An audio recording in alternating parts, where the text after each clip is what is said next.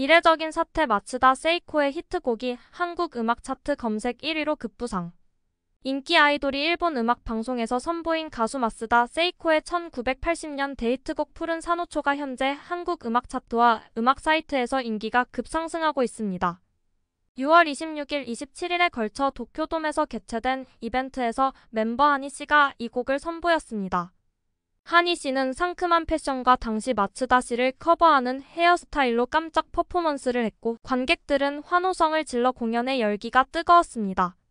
라이브 후에도 열기는 식지 않고 SNS상에서도 화제가 되었습니다.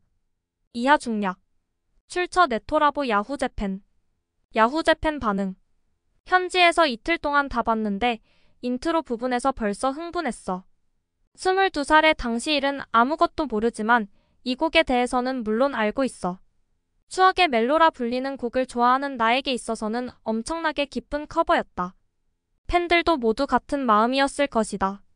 한이가 당시 스타일로 노래해준 것도 너무 좋았어. 이건 화제가 되겠구나 생각이 들었다. 지금은 하늘로 간 카라이 하라짱도 콘서트에서 아야카 씨의 모두 하늘 아래를 불렀습니다. 첫 마디는 아카펠라로. 매우 감동했습니다.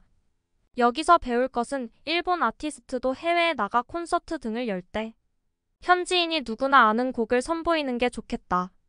분명 현지인들이 흥이 나고 그 나라에서 화제가 될 거예요. 니주는 대만 공연에서 대만 히트곡을 불렀었어요.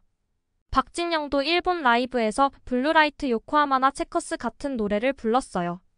해외 가수가 자기 나라 곡을 불러주면 respect을 느끼죠. 푸른 산호초였습니다. 완성도는 높고 무엇보다도 청초하고 곱고 귀여운 하지만 역시 세이코의 느긋한 고음과 맑은 목소리의 푸른 산호초가 가장 좋다. 오리지널을 뛰어넘는 것은 없습니다. 7, 80년대 일본 가요계에는 마츠다 세이코처럼 목소리에 매력이 있고 창법이 뛰어난 가수 아이돌이 많았다.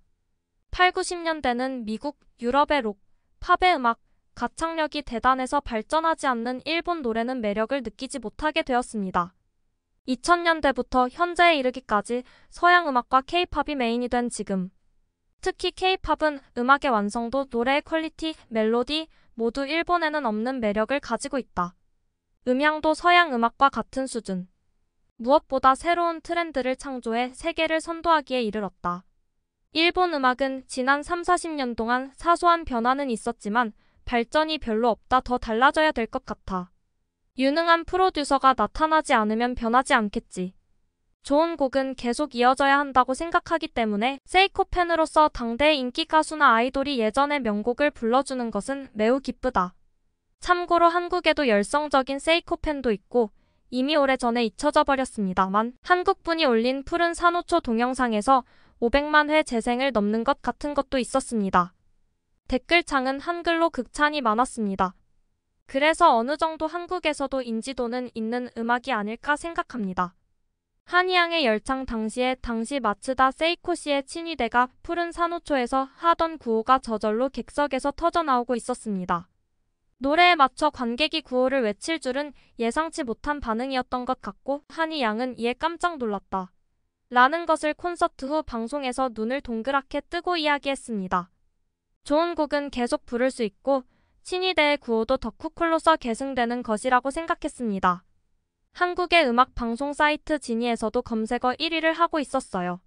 실제 노래하는 것을 보면 일본어 발음도 정말 잘하고 노래도 잘 부르네요. 청초하고 가련한 분위기가 곡에 너무 잘 어울린다고 생각했어요. 유튜브로 봤어요. 한이의 푸른 산호초 완성도가 대단해서 깜짝 놀랐어요. 조회수도 승승장구하고 있습니다. 댓글에는 전설이라는 의견도 다수 있었습니다. 꼭 유튜브로 확인해주세요. 완성도의 대단함은 거짓말이 아니에요.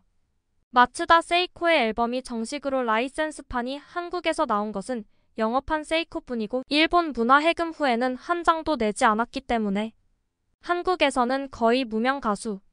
해금 전에 빨간 스위트피를 한국어 커버하는 가수도 있었는데 무허가인 것 같아. 좋은 곡이나 사람들의 기억에 짙게 남는 퍼포먼스는 시대를 초월해 사랑받는다. 그리고 그 원곡에 마츠다 세이코도 현역 아이돌로 건재하다.